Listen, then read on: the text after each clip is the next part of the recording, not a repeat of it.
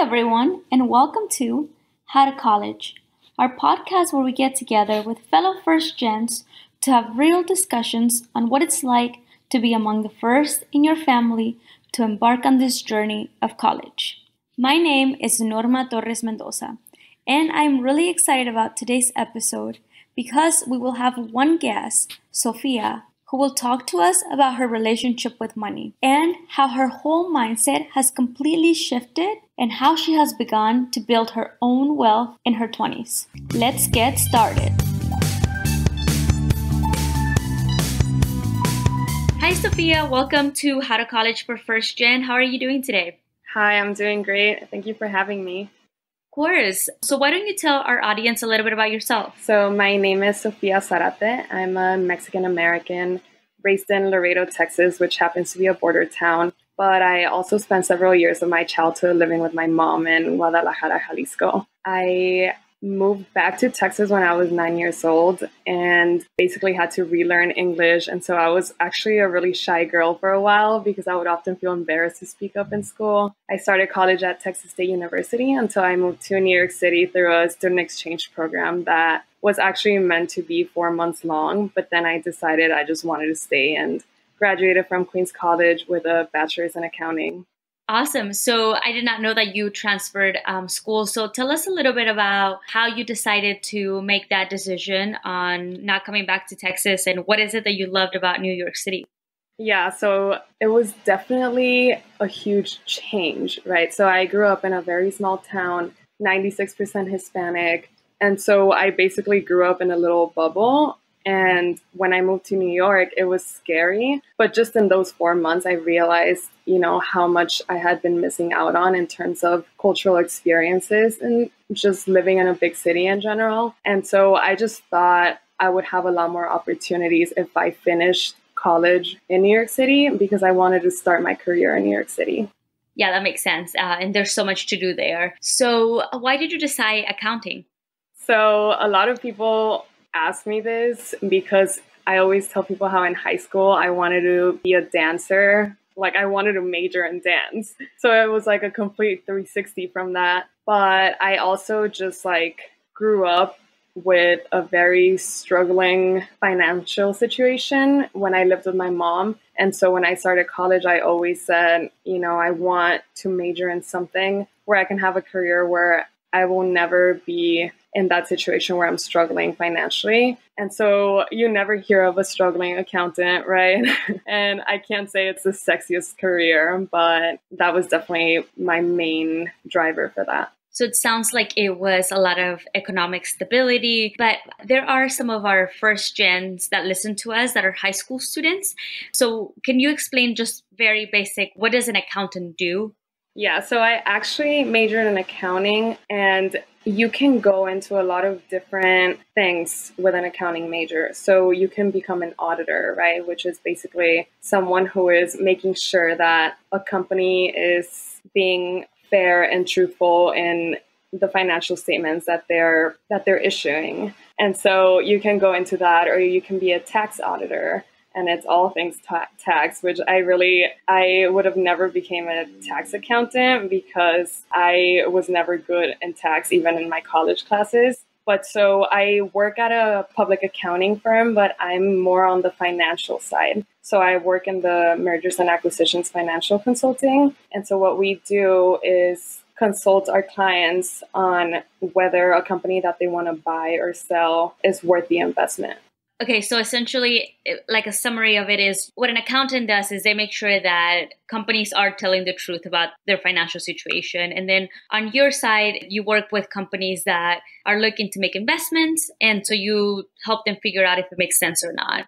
In very simple terms, like if somebody may be thinking about buying a house, they might go to a financial advisor and say, Does my investment make sense? Right, exactly. And so you alluded to this earlier on. You talked a little bit about your financial situation growing up and why that led you to having a career where you would have stability. So can you tell us like what it was like getting your first job? You got an offer, it had a lot of zeros next to your name. So tell us a little bit about that feeling and sort of what's going through your mind as you're getting these offers once you're graduating from college. Yeah, of course. So you know, I often have this discussion with my siblings about how we grew up learning such opposing views about money management, especially because our parents were separated and didn't agree on much. So, growing up, my mom always had this like treat yourself mentality, but she's been in debt for as long as I can remember. And then my dad, he's your typical epitome of the American dream. Came to the US with nothing,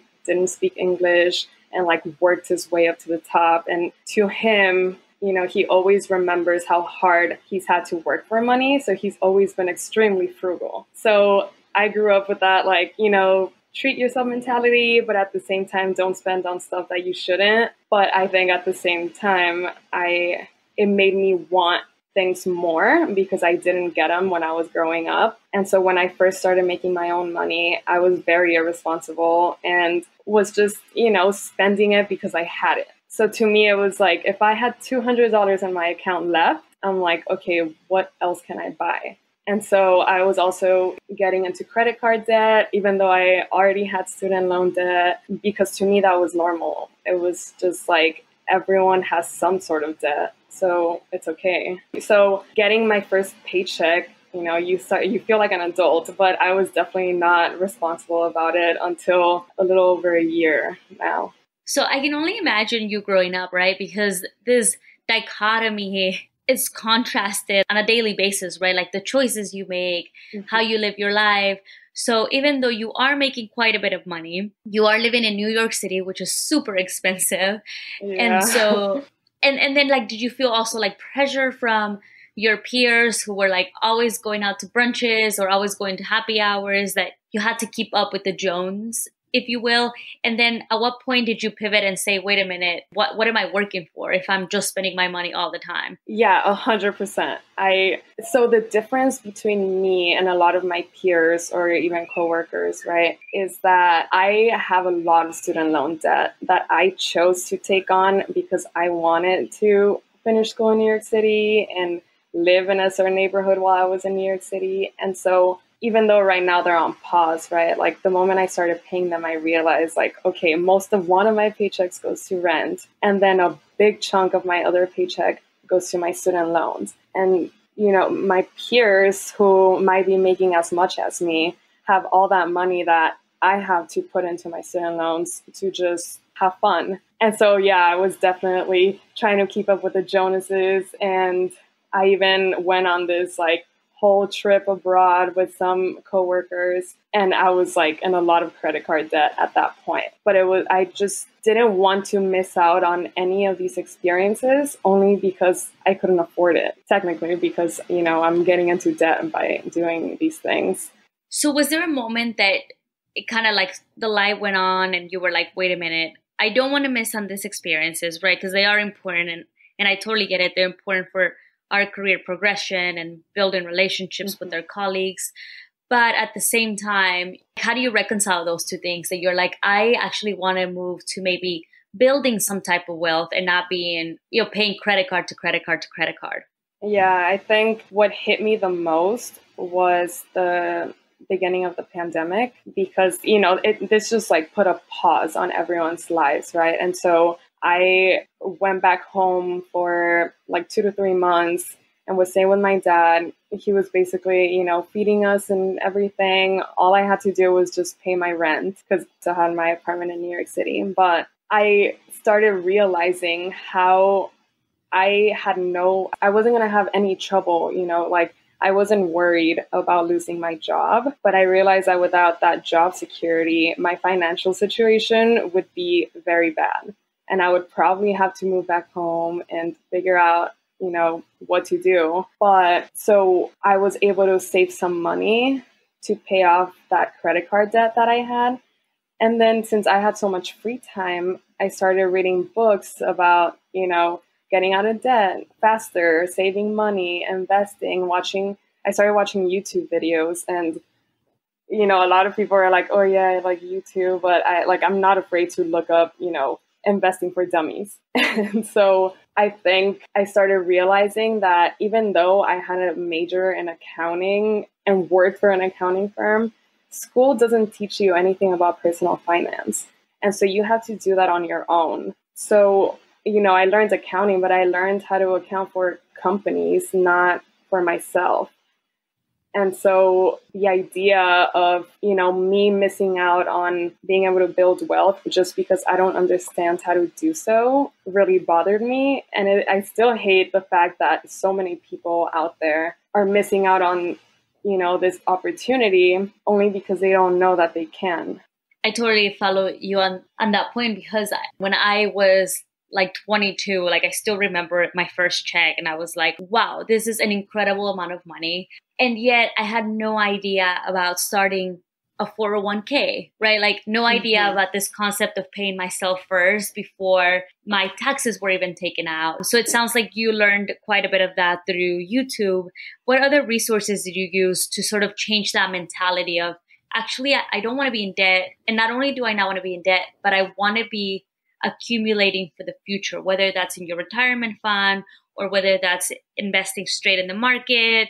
What other resources did you use out there? One of my biggest drivers is the fact that I don't want to be an employee forever. Something that a lot of people dream of or you know being business owner someday but you know we're in this hamster wheel where if all you have is your salary then you're just surviving basically right because you're making X amount of money and you're paying off your bills and then the rest you're using to go out or as fun money. And so I realized that if I just stuck to my job or my salary, then I was never going to have money to save enough to eventually be on my own and try to start my own business or something. And so I, I got real interested in the stock market, but I didn't really know how it worked. I just knew the basics, right? Like you can buy stocks, you can sell stocks, you can make money off the stock market. But I know how risky it is and how much money you can lose. So that's why I was watching so many YouTube videos. And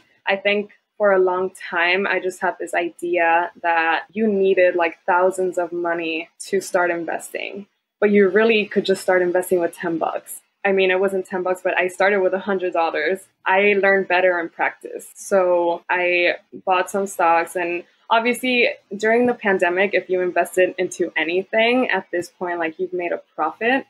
Absolutely all yeah. stocks are basically on sale, right? like, so there are a lot of people who started investing during the pandemic that think now they're investing pros, but just seeing like from practice, okay, if I'm buying this just because I like the name and then I'm losing money, then I'm not doing my research, right? Or I actually wanted to invest in something long term. So there is something called index funds, which is an investment vehicle in which you you can invest in and it's like you're investing into a bunch of different companies instead of just one. But these index funds don't grow from, you know, one day to the next so they don't generate huge returns right away. So a lot of people are like, no, no, no, like I want money fast. But if you're into long term investing, then this is a great vehicle because you just have to have that mentality of like set it and forget it. But I do understand, want that like excitement of, oh, how much money can I make? So I always tell people, you know, you should invest into index funds just because it's safer. And then if you have some money set aside, you can use that as like quote unquote play money right to see just like how trading works. But yeah so i'm i'm a fan of the stock market. I know real estate is another way in which a lot of people like to invest their money. I just don't think i would have enough time to put up with the property management that comes with it but there are a lot of people who will swear by it I think you are highlighting very important things. And I know that a lot of these terms might be new to our audience, like index funds. As you mentioned, there are many companies. You still are an owner of those companies. It's just a lot of them put together and it obviously decreases the risk because you can essentially like invest in all of the US economy. So I think that that's very useful advice. What other ways are you utilizing to build wealth? So you obviously put your money in the stock market. You mentioned that you don't do real estate. What about your 401k, your Roth IRA, if you have one, what are other ways that you are ensuring that you're saving for the future? I definitely have a 401k that I've been putting money into since I started working full time, and my company matches it at 5%. So that's you know, that's one of those investments that I know it's there for me, but I never really check it. But it will definitely, you know, accumulate to a good amount of money in the future. And then another thing that I actually will usually tell people is that before actually investing, you should have an emergency fund. So I created an emergency fund during the pandemic because I read about it too. And this amount of money will vary, right, from person to person because everyone's financial situation is completely different. And so people will save three or six months of living expenses as a as an emergency fund. I don't have that much, but I have enough money to where if an emergency were to happen, I would be able to pay for it. And so you don't want to to invest your money, let's say, into the stock market, and then you have an emergency happen, like you have to go to the hospital or something and then you have this huge bill to pay. So you don't want to be forced to take your money out of the stock market because you need cash and take it out at a loss. Right, and not to mention the capital gain taxes that you might have to pay exactly. if you have been there less than a year. No, that that makes total sense. So, and the conversation that you and I are having today is obviously comes from a, a place of a lot of privilege, right? Because we are now talking about having a job that allows you to not just pay the bills, but it allows you to now begin thinking about the future, not just for yourself, but maybe for your future generations. And I know that, at least for me, it's very hard to think about doing this, especially when like a lot of my family members are struggling. And I think that it has so much to do with the first gen experience and maybe even survival guilt, right? That like we quote unquote made it and we quote unquote have money and we see our family members that are might not be doing so well. So I would love to hear from you how you think through that and how do you rationalize putting this money on the side, knowing that maybe you could be helping someone like today there are negative effects to building wealth because I know this is true for many cultures, but Mexican culture places such a high importance on family and helping one another in times of trouble. So, my whole life, I have seen the way my mom's side of the family constantly comes together to help with whatever they can financially. And many times this help was given to us when my siblings and I lived with my mom. So naturally, I always want to give back to those who have been, you know, a huge support for me throughout my life. And every now and then I will send money to my family if I'm able to. However, you, you always have to remember that you can't pour water out of an empty glass. And as much as I love to help out all of my family financially, I can't always do that if I don't help myself first. So I have to make sure that I have my own financial plan set up for the future. Yeah, and I think what you're saying is really important because you are coming from a place of values, not a place of greed, right? Yeah. You're saying there are some things that matter to you specifically, Sophia, that you want to accomplish and you obviously have to take care of yourself to be able to help others, which definitely resonates. And you alluded to this earlier on, but I, I do want to emphasize that I think building wealth should begin with the why. Like, why are we doing this and for what? And you mentioned that you wanted to at some point be your own boss and start your own business. So I'd love to hear a little bit more about that. Um, what is it that what's your goal and what's driving you to to build this wealth now? Yeah, so something that I've said ever since starting college was that I would choose a career that would allow me to be financially independent so that I wouldn't have to rely on other people.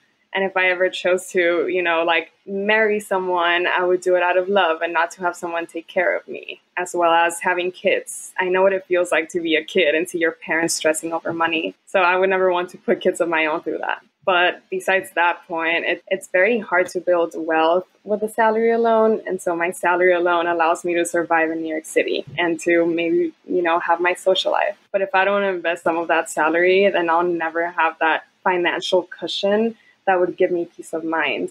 And so, yes, you know, I have um, ideas of what my future might look like. And, you know, I would love to eventually be a business owner. But what I'm ultimately looking for to get out of building wealth is the peace of mind. This is very intriguing to me because I think a question that oftentimes I think about is at what point are we building that peace of mind? So is it a number for you? Is it a stage? Like, how do you know you've actually realized your goal and how do you quantify it? Or I would just love to know, like, when you think it, it's enough. Yeah, I, I think that's actually such a good question for everyone, right? I recently read a book called Your Money or Your Life, and they really touch on this hard. And so everyone has a different point, right, to where you have enough. And so this enough is not just, you know, you're surviving. So you have enough to where you're being able to pay your bills, you get to have a social life and but, you know, for me it's like I would like to maintain my lifestyle and my social life, maybe at the point that it is right now. But I would also like to be able to help out family and friends if, you know, they needed help. And so, you know, I, I don't think that you can quantify it, but I do think that everyone get, can get to a point where you just have too much money. And so that's when a lot of people start giving it away, right, to charity or things like that, and other people don't.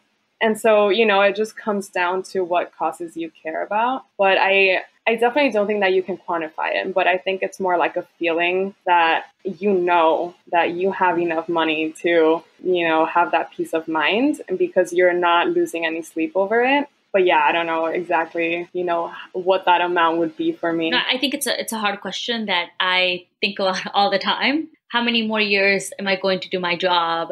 At what point do I feel that it is enough? Because as you mentioned, every time you get promoted, all of a sudden you're like, oh, I actually could afford to do more with my life. And so I think for me and my husband, at least, is, is really important for us to think through our lifestyle and are we modifying it every time I get a promotion? And if so, is that a good thing or a bad thing? Or do I need to like scale back? Just to give you a perfect example, right? We just came back from Chicago and it would have been so easy for us to like Uber everywhere. But then I did the math and I was like, wait a minute, a, a train is easy here in Chicago Chicago, I can use it and it's $5.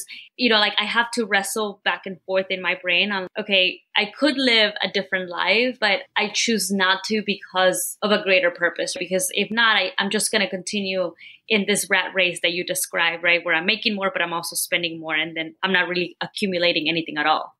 Right. Yeah, that's exactly it. I feel like so many people get stuck on that rat race because every time you get promoted, you're expenses go up with your salary because you know you're like i'm working hard for this. I deserve to treat myself or go out and yeah, I mean, you just have to get to a point where you're like, no, I'm I'm okay with how I'm living right now, and now I'm in a position where I can actually put money aside. Yeah, and I think you hit it right on the nail. I think we justify it by saying, I work so hard, I deserve this, and then yeah. like if I started every sentence like that, I wouldn't be putting any money away. You know, I would be like, well, I deserve this and I deserve that because I put in 12 hours a day. So I think just checking yourself on those little things is important.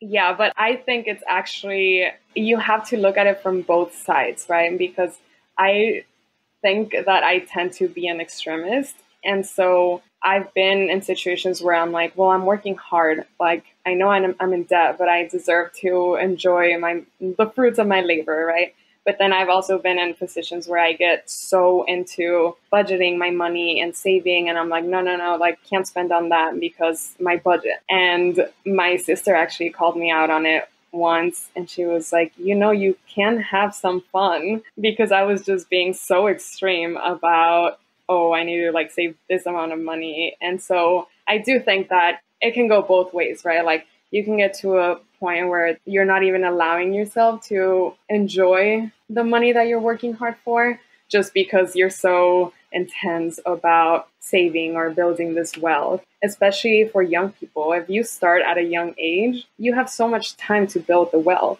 It's just about getting started and being consistent with it.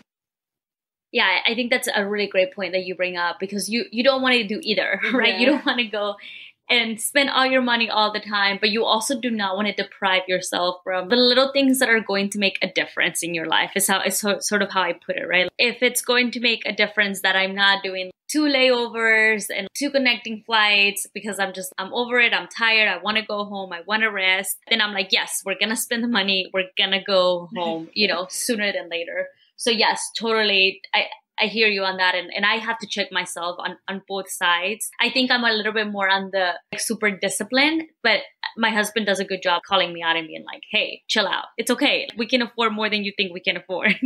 Yeah, exactly. Sometimes the Uber ride is worth it. yes. Agreed, agreed 100%. The last question I have here for you is Do you have any tips for any of our audience that are all first gens that are interested in beginning to build their wealth? So, you've already mentioned that one, I think a misunderstanding is you don't need to have thousands and thousands of dollars to begin doing it. We've already kind of discussed that balance between building your wealth, but also living your life, if, especially if you don't know, if, you know, how long we're going to be on this earth. So, definitely that. But anything else that you think you wish you would have known when you started your career and for those people starting to create their wealth? I honestly wish that I would have had someone teach me personal finance growing up. I think this is stuff that schools should be teaching. But yeah, had I not done my own research, I'd be missing out on wealth building simply because I didn't understand it. And so I think people should do their own research and do what's best for them because that's and that's what's most important. So for example, a lot of people will suggest that you pay off all your debt before you start investing. But that depends on how much debt someone has, right? So I paid off my credit card debt and I created an emergency fund before I started investing, but I still have student loans that are going to take me years to pay. But if I had waited to pay off my student loans to start investing, I would I would start investing years from now and so, you know, that's money that could have been accumulating. I also wouldn't have taken advantage of like the stock market during the pandemic and stuff like that. So, every individual financial situation is just so different. But once you are ready to start investing, I think the very first thing that people should do is have that emergency fund set up, but definitely get started ASAP. The younger you are, the more time your money will have for growth. And I think one thing that I learned really early on is not all debt is created equal. Not all of it has the same interest rates. Obviously, consumer debt comes with the highest interest. So you definitely, I would recommend that you pay that off, especially because I've seen some credit cards that do like 20% interest rate, which is like ludicrous. But that's another. Yeah, it's crazy. Yeah, then we, we could do a whole section on terrible like credit cards out there. But obviously, my home mortgage, for example, right? We took out quite a bit of it in our mortgage, but it's at a 2.5%. So am I better off investing? Yes, absolutely, right? So, like to your point, it, it doesn't make sense for me to wait 30 years to pay off my mortgage before I start building the well. So, yes, every situation is different and not all debt is created the same. And I love your takeaway here, which is do your research. At the end of the day, it's your life. You get to decide what choices you're making, but you're going to make better choices if you are informed. And so, I think that is your takeaway there making sure you're using the internet, you're using books, you're reading and become knowledgeable so that one day your dreams do become a reality and that you know you're not just building wealth for the sake of it, but that you have some like values and some goals in line with the money. In my opinion, the money is just a vehicle for you to do things that you're really excited about. Exactly, I agree. You know, so many people get to that point where they're they have enough money and so they're at the point where they can leave their job that they hate they can start working on their dream job or you know traveling or doing things that they've always wanted to do so to be able to do that stuff I mean, I think it's like worth waiting for. Well, I don't want to take up any more of your time. I thank you so, so much for being on our episode. But thank you so much for having me. Well, that's it, folks. Thank you so much for tuning in today to hear about Sophia we learned some really important lessons. First, she talked to us about how her relationship with money began when she was just a little girl and how it influenced her decision to be an accountant given her own family financial struggles. Second, we discussed how her mindset about money has completely shifted and how she has reached a happy balance of spending money living a life, but also thinking and building wealth for the future. Lastly, she gave us some tips on how to manage our 401k, on how to learn about the stock market, and on how to ensure that our choices are aligned with our values. Because at the end of the day, that is the big takeaway.